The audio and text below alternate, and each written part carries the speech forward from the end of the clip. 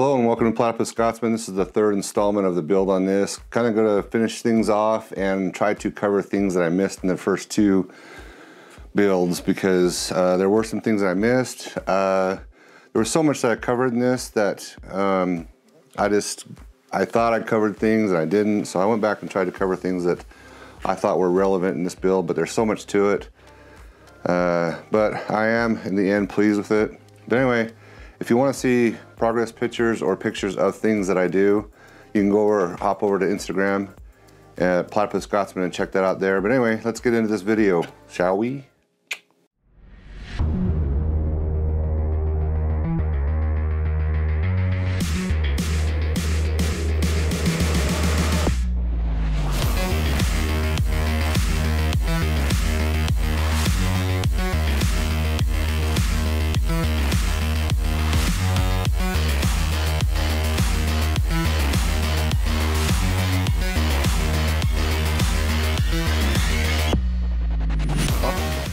On the paneling, what I've discovered I like to do is I want to bevel all the edges that are showing outwards. In other words, take the crisp edge off that you, you cut and just kind of lightly sand all of them, all the uh, four edges to a 45, unless you're going to butt up against something else. And even then I do that too. I don't do it on everything, but most of the paneling I'm doing that on. I just think it looks better. It also catches the light a little bit better. And then just glue them on.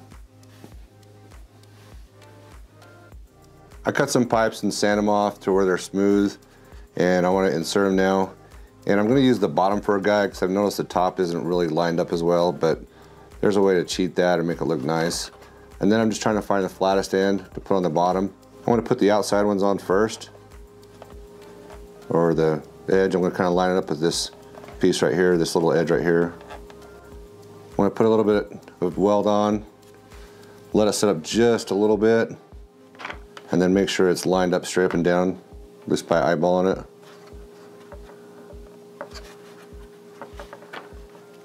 And then put more on. You can still manipulate it a little bit when it's still trying to set up. Uh, so it's that's kind of one of the advantages of it.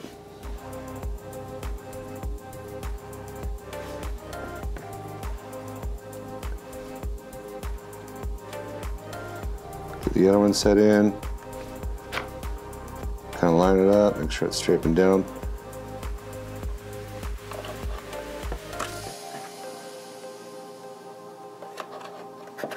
And I'm just going to kind of eyeball them where I want them, just kind of get the spacing. Pin them down. Get a little bit of weld on in there. Make sure it's where I want them to be.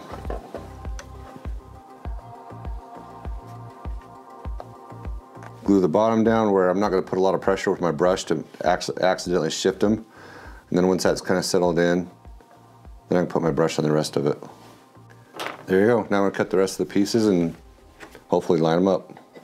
I'm going to line them up one at a time and just hopefully I get it to where they look decent.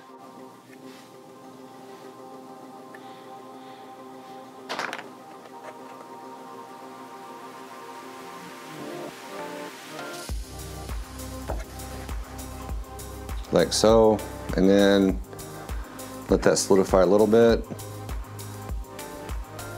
I thought I cut them long enough to where they were gonna bleed off the bottom a little bit, but it looks like it's a little short, so. But in the long run, when it's all said and done, it won't really matter a whole lot.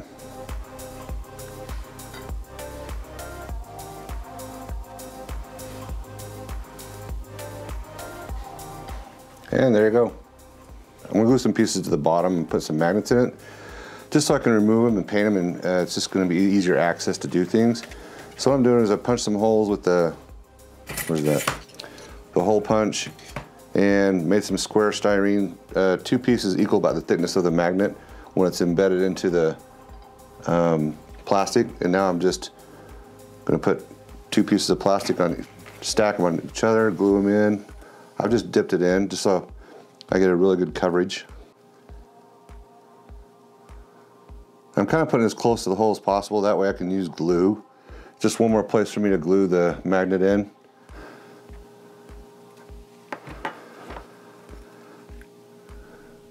Out of all these pieces, that's the one that I lose with my tweezers. Oh well. So now this piece is done. I wanna make sure I put the magnets all in the same polarity. So I'm just inserting that one. And then just gonna put some gel glue on it. Gonna get my paintbrush and get some weld on on it and just liberally put some on each side.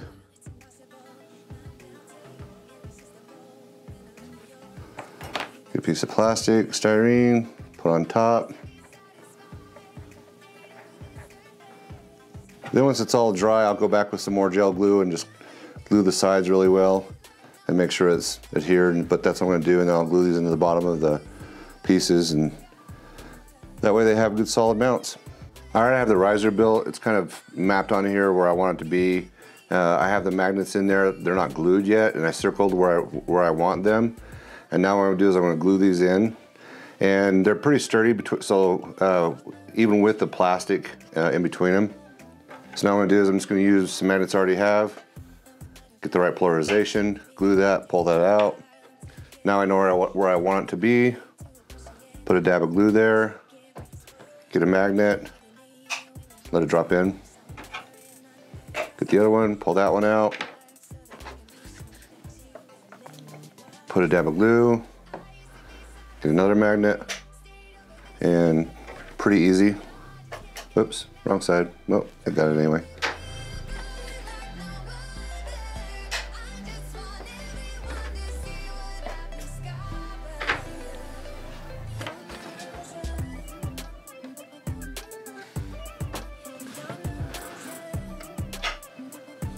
I do want to frame something around this so when I put this piece on, it'll kind of match up because you can shift it around and kind of get it cockeyed.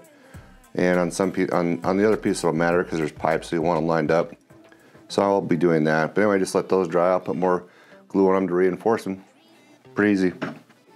I've done stuff like this before where I put ribs up and this is just how you do a rounded edge. Put a bunch of ribs up that are 45 on one side and then uh, 90 on the other and I've already glued this and what I'm going to do is just start, slowly start going around and pressing it down and then glue it, make sure it's on the ribs. Not go too fast, um, but you want to make sure this first part is really secure before you start doing this and just make sure it's pressed in. And you might have to hold it down just to get a good uh, bond. But I want to make sure there's no seams or no gaps in the part that I'm doing right now. I just want to make sure it's, it's something you don't want to rush just because you want to make sure you get it down. And also push down the top too, so it doesn't uh, start to ride up on you. This is another good use for this magnet jig, just to hold this down as well and make sure everything's all snug. And then just continue around. You don't want to do it on the green mat, like I said before, you'll end up gluing your this uh, your plastic to your green mat because it'll seep through invariably. Anyway, I'm gonna continue doing this and then get back to you. This is the base for the towers and how I'm gonna do the interior of all this, uh, I kind of struggled a little bit with, but I did the outer wall, just like I did before. I put braces up, did the outer wall, and then I just traced this and gave myself a little bit of leeway on it uh, as far as when I cut it, I'm gonna get, cut it a little bit wider than what it is. And then I just traced it, kind of did a reverse on the inside, so I kind of have that, but I don't have enough styrene, so I'm going to be short a little bit. So I'll just do some patchwork and fix it up, not that big of a deal. And uh, But I'm just going to cut this out, and I'm not going to follow the line here. I will on the inside, but not on the outside, because I want it to overlap a little bit. But on the inside, the interior wall is going to be higher on that one, so that's what I'm going to do there. That's just what I did. I just kind of traced it and then just reversed it uh, on how I did this. Now the cut piece is down here. I just put this on top of it. And a side effect I didn't realize was the magnets are actually holding it down for me, so that's nice. So now I'm just going along the overlapped edge and gluing this down. So yeah, the magnets is a byproduct I wasn't aware of. So that's nice. Don't have to worry about it shifting on me and it puts pressure, constant pressure down on top of it, so that's good.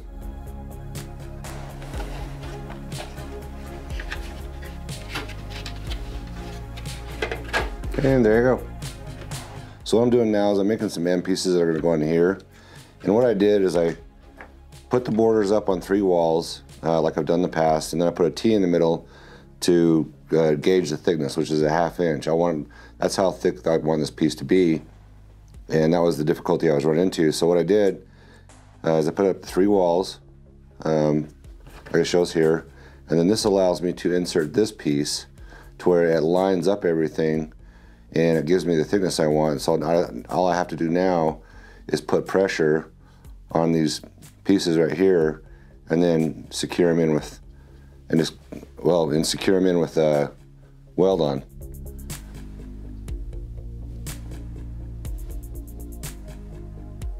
Then hold this back one here, secure it on.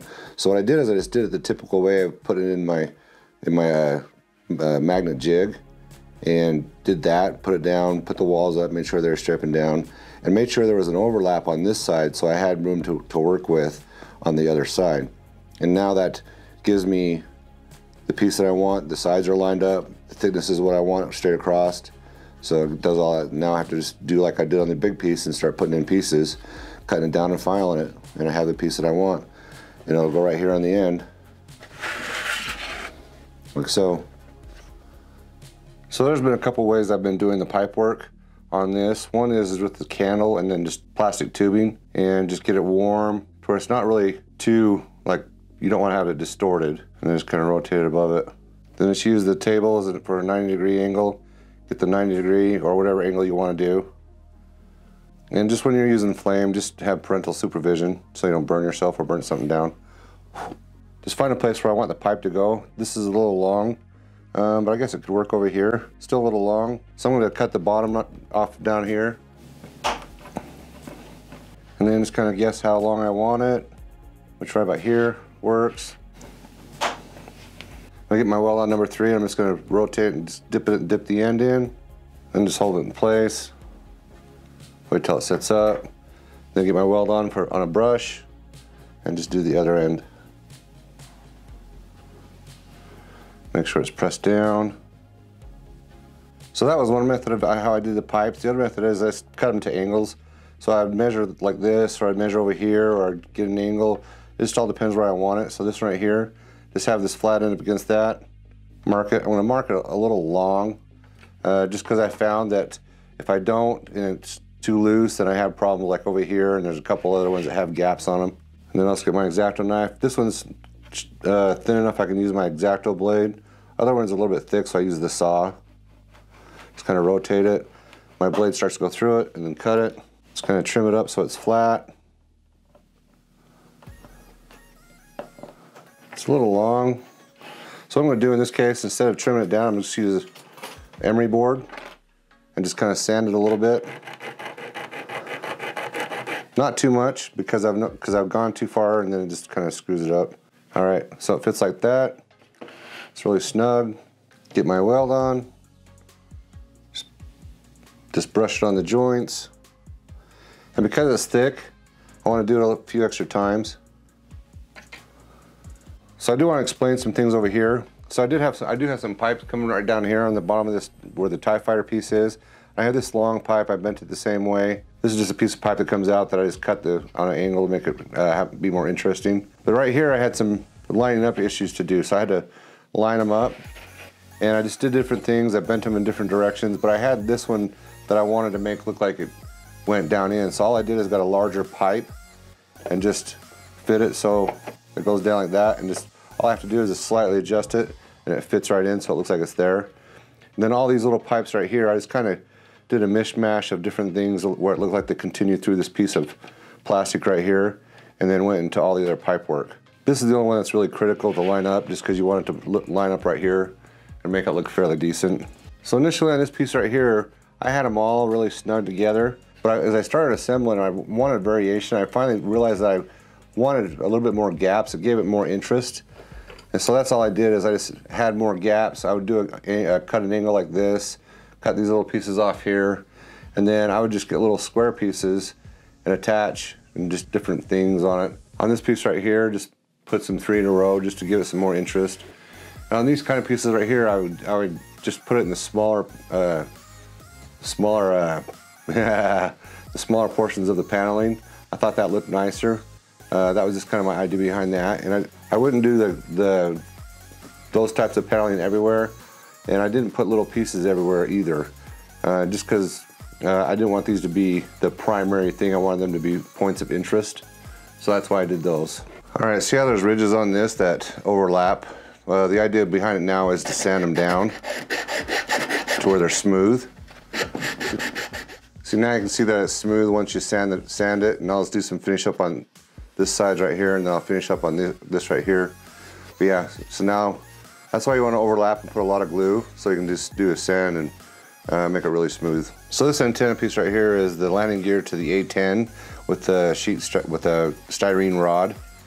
And I'm to make some of those and put on top of one of the towers. So these are a bunch of pieces I've already trimmed and cut up. Uh, this is the landing gear. I think these are the front landing gear to the A10. These are some styrene pieces, or some pieces I've had for a while. I think they go to the uh, 148 scale half track. I'm not 100% sure. And then these are just some styrene pieces. And what I want to do is I want to glue some of these long ones onto here. I've kind of have a place for them already. I want to glue it right there. So I'm going to dip this end into my weld on and just kind of make sure it's straight up and down. Let it set up for a second and then I'm going to get my paintbrush and add more weld on just to secure it up. And then I want to take these, these, I'll also rounded the end off right here and I flatten this out and I'll glue that on there. I'm gonna stick the end into the weld on, try to get in the center, make sure it's stripping down as best I can. Now what I wanna do is I wanna take some uh, silver, well, it's, can have silver or gold, but some 24 gauge bead wire, and I wanna wrap it around this one, like I've done right here, just to give it some character.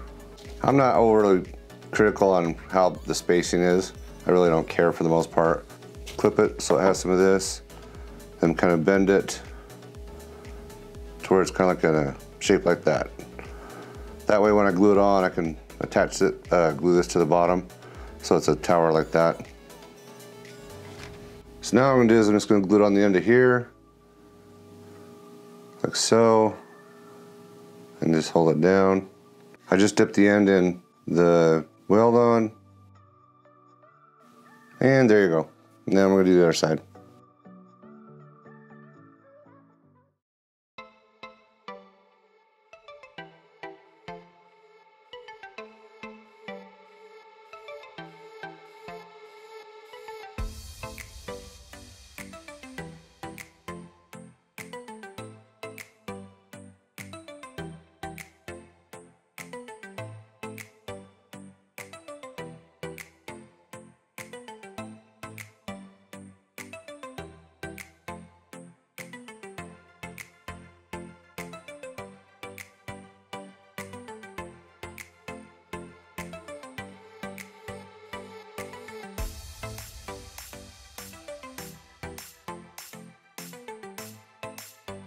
Well, that's it on the build videos. Hope you got something out of it. Hope there was something you could use in your hobby and uh, take from it and apply it to your craft and the things that you do. Uh, if you have any questions or comments, leave them below. I'll be more than happy to help uh, answer any or the best I can. And, uh, and if you want to see more of this, like I said before, go over to Instagram at Platypus Scotsman, check it out. Uh, also, we're setting up a website, platypusscotsman.com where it's in its infancy and we're trying just to get it going and we'll have tools and different things that we use and uh, other things like that on there as well if you're so inclined to go visit that. I also like to thank all those who support the channel through either subscribing to the channel or giving thumbs up or leaving comments. I appreciate that, but I especially like to thank the patrons who support the channel and are willing to uh, give some of their hard-earned cash to support the channel in any way possible. And 2020 is almost over, uh, and I hope you have a wonderful holiday season, no matter what holiday you ch choose to celebrate. And uh, spend time with your family and friends and uh, those that you care about. And hope your hobby is treating you well. Hope you're having a good time. Starting to get starting to uh, get more into Warcry at the moment, so I might deviate and make some Warcry boards because I want something to, to, play on other than just a flat board to or the, the cardboard that comes with it that's painted. Um, trying to think of some ideas. Might do some Badlands, swamps. Not really sure yet. Uh, maybe some cobblestone. Uh, just trying to th throw things up in the air. What we might do. Anyway, you have a good night and uh, or a good day or whatever the case may be. But anyway, remember remember, remember what my, my mm, Remember what my mother used to always say is anyone can do art. Truly believe that. You have a wonderful night. Bye. Parade wave.